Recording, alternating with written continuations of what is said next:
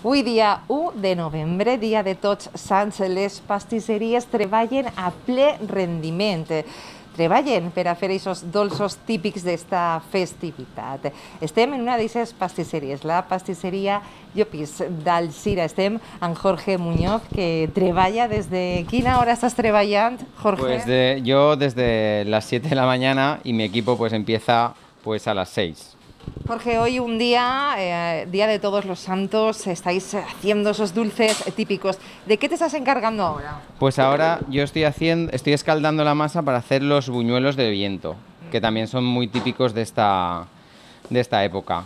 La gente parece que conoce mucho el panellet, el panellet y el huesito, pero el buñuelo, que es algo más, eh, yo creo que se le puede dar una, una vuelta un poco más moderna para todos los públicos, porque el mazapán siempre lo relacionamos eh, con más tradición, la gente mayor, pues, pues el buñuelo es como que los niños les gusta más que el mazapán. Ajá. Entonces, pues ahora mismo estoy escaldando esa masa para hacer una medida de buñuelos.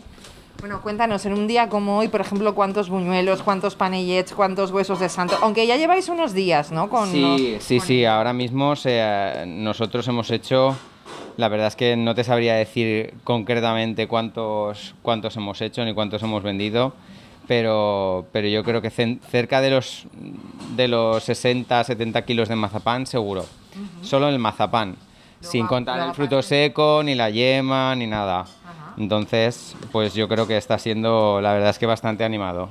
Cuéntanos, Jorge, ¿es una tradición eh, la de estos dulces más de jóvenes o de mayores? Y te explico por qué.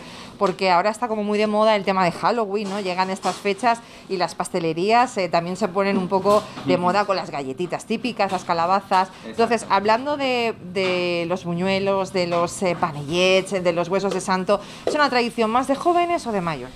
A ver, claramente nuestra tradición, que es la de los panellets, que es la de todos los santos, es nuestra tradición eh, española, es más de gente mayor. Lo que nosotros queremos fomentar es esa tradición que es de, de la, gente, de la gente mayor pase a, lo- a la gente joven. Entonces, nosotros una, una de las cosas que, que estamos incentivando es la venta online, ¿vale? Un poco el reclamo eh, para la gente joven que quiere regalarlo o incluso mm, sí que quiere regalarlo a gente mayor, pero que ellos mismos son jóvenes y se dan cuenta de la tradición, de lo importante que es la tradición para, para esa- ese tipo de gente. Sin embargo, también pues estamos haciendo pues galletas de Halloween, un poco por eh, no por Dar sacar negocio, demanda, exacto, sí. no por sacar negocio, sino por por sí, porque siempre viene gente que quiere que quiere regalarle o al sobrino o al hijo, ¿sabes? Los niños lo ven, entonces siempre es más llamativo. Pero nosotros aún así siempre nos queremos eh, de- eh, desvincular de esa fiesta que es de origen americano y darle también una, una calidad y un origen. Por ejemplo, hemos hecho unas galletas con, con la Catrina, que es la típica, la típica calavera de, del origen de Halloween.